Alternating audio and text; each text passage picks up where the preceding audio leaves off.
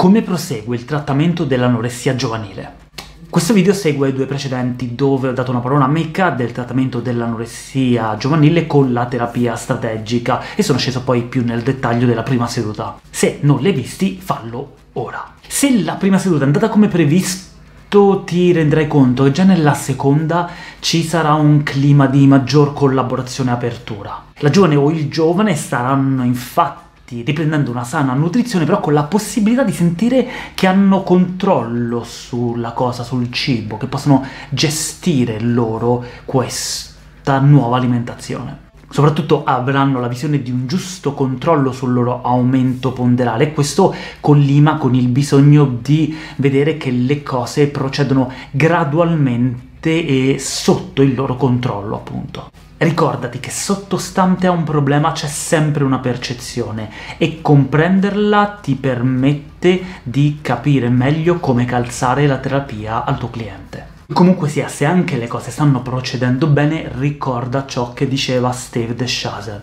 non essere mai più entusiasta dei tuoi clienti. Sei ancora all'inizio, non è il caso di pensare che tutto proceda in discesa. Così fatti dovuti ma non eccessivi complimenti dovrai anche sottolineare che quello fatto è soltanto il primo passo. La comunicazione è qualcosa di strategico all'interno della terapia, quindi qualcosa che devi tenere sotto controllo. Non devi fare dei complimenti solo perché è carino farlo, con il rischio di cadere in quella che Boardman ha chiamato la tirannia della gentilezza. Non siamo delle cheerleader, incoraggiare i clienti non è un atto dovuto e scontato a prescindere, è appunto invece un elemento strategico e in questo caso non devi far adagiare né i clienti né la famiglia sui risultati ottenuti e soprattutto tu non devi abbassare la guardia. Dovrai apparire scetticamente ottimista. Complimentati per i risultati, invita ad andare avanti, ma contemporaneamente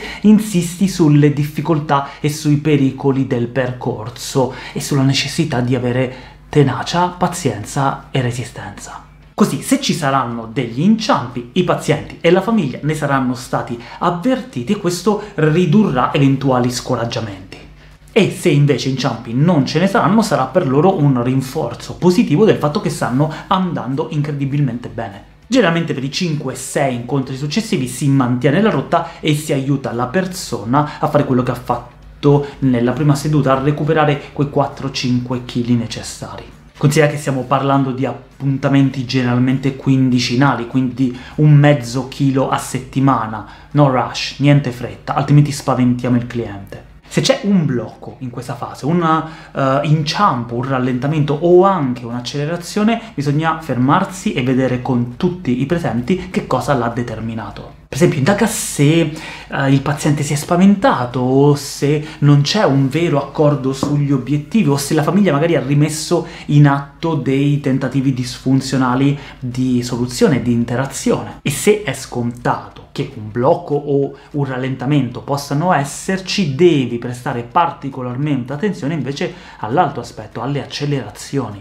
Per quanto ti possa piacere come terapeuta breve un risultato veloce ottenuto in poche sedute, devi stare in guardia di fronte a, a, risultati che sono fragili oppure instabili. Ad esempio la ragazza potrebbe non accettare un miglioramento troppo repentino e spaventarsi o non accettare un aumento ponderale evidente. Vai piano, le puoi comunicare.